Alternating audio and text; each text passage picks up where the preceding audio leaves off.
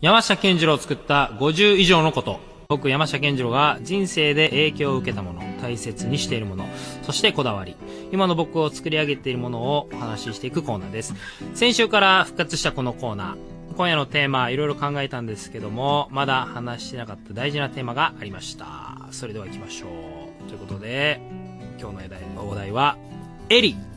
ね、先週、直樹さんでしたっけ？直樹さんお話ししましたけども、まあ、エリ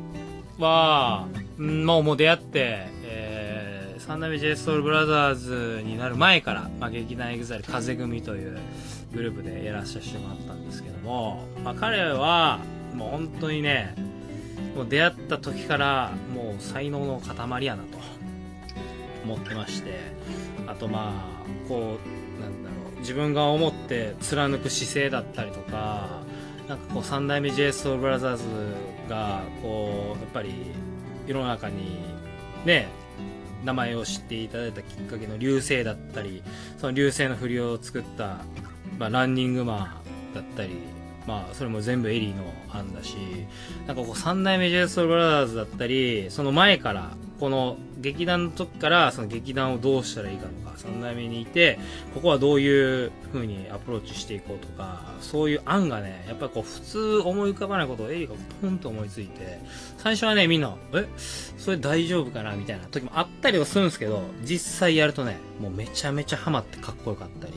やっぱもう、なん、なんて先までの呼んでんやろみたいな感じで、もう本当に三代目には、もう、ほんまに、すごく、まあ、アイデアマンだしね、エリって。うん。もう本当いつも助かってますね。なので、あのー僕は、まあ、パフォーマーの、まあ、定位置で、いつも、その、エリの背中を見て、えー、僕はお客さんが見て、お客さんが見て、右か。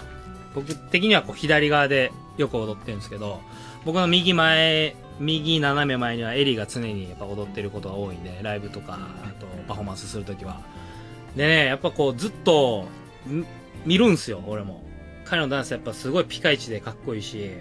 色気もあるし、なので、僕のその、そういうスタイル系のダンスだったりとか、えーまあステップじゃない曲とか、そういう三代目っぽい踊りっていうのは、もう半分以上エリーの踊りが染みついてるのかな、みたいな。彼がかっこいいなと思った動きは、もう全部盗んでます、正直俺は。そうそうそうそうそう。うん。だからね、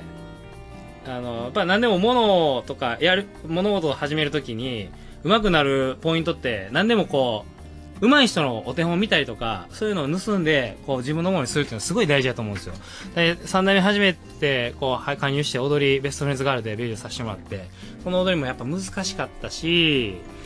うん、なかなか苦労した部分はあったんですけど、エリーがこう前で踊ってくれてることによって、だいぶ僕も形になったのかなって思うし、彼、彼に関してはもう感謝してもしきれないぐらい感謝してる。うん。と思うので、やっぱこう、あとは、俺とエリンしか分からへんニュアンスだったりとか、あのーまあ、二人でしか話せない話だったりとか、いっぱいあるんですよ。まあ、ちょっとこれはね、二人だけの話になっちゃうんで、ちょっと話せないですけども、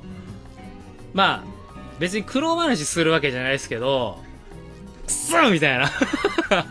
ふざけんなよってこう、もう、食いしばってね、食らいついて、いつか見とけよみたいな感じのことも、何回もありますよ、やっぱり。三代目になる前、そしてデビューしてからも。うん、なんかその苦労をね、一緒に乗り越えてきた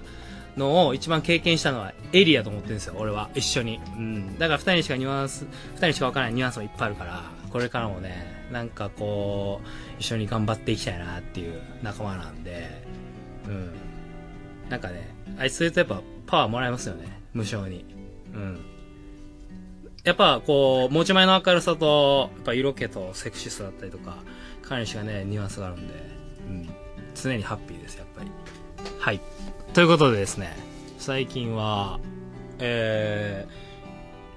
ー、クレイジーボーイとして活動してるんで、クレイジーボーイの曲かけましょう。それでは聴いてください。クレイジーボーイでネオ東京。